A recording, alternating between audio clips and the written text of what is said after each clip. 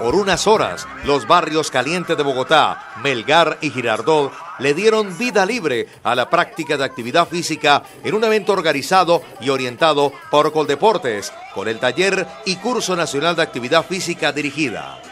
En el marco de este curso para generar competencias en actividad física y mejora continua los procesos de promoción de actividad física y hábitos y estilos de saludables. Se desarrollaron dos eventos, uno en el municipio de Girardot y, ahora estamos en el municipio de Melgar con una participación de más o menos 2.000 personas en cada municipio. Las jornadas se realizaron con talleres, pruebas, jornada académica en un evento masivo de actividad física que reunió alrededor de mil personas de todas las edades.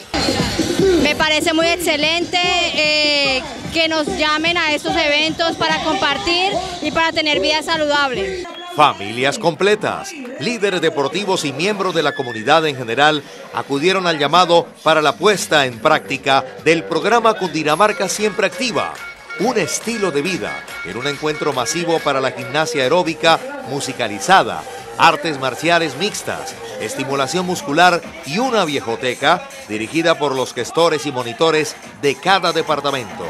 Esto motiva para que todas las personas de aquí de Girardot tomemos conciencia de lo importante que son los ejercicios y la actividad física.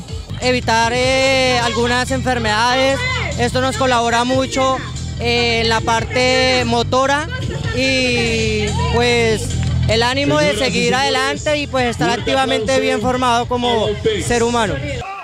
Un taller con profesionales de diferentes áreas entregaron a gestores y coordinadores del programa de actividad física herramientas que van desde principios de entrenamiento aplicado y alimentación sana y saludable hasta herramientas comunicativas que les permiten mejorar cada día en su trabajo.